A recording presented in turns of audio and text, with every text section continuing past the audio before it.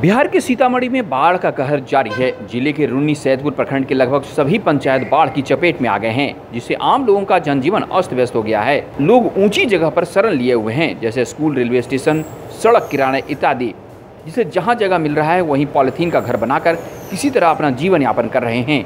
वहीं रुन्नी सैदपुर उत्तरी पंचायत के ग्रामीणों का कहना है कि हम लोगों को सरकार के द्वारा अभी तक कोई सहायता नहीं मिला है। प्रतिनिधि लोग तो कोई देखने भी नहीं आता है। नहीं हम लोग को सुविधा मिला है। और गाय जो जो है वो तो जो है से बाहर दूसरे जगह पर भेज दिए हैं। वो भी पानी में रहता है गाय बरसातों में।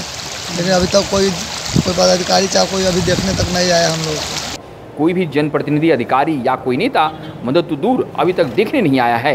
हम लोग किसी भी तरह अपना जीवन यापन कर रहे हैं। लमसम दस पंद्रह दिनों से पानी ऐसा ही है, आ, पानी ऊपर उछल रहा है देखते चल रहा है पानी लेकिन यहाँ का जो समस्या है कि कोई जनप्रतिनिधि यहाँ का पूछने वाला नहीं है। बाढ़ का पानी पूरा एकदम लोगों के घर में प्रवेश कर गया है। यहाँ तक तिरपाल उपाल जो को भी जनप्रतिनिधि मिलता है, वो कुछ नहीं मिला। सीतामढ़ी से अमित कुमार की रिपोर्ट।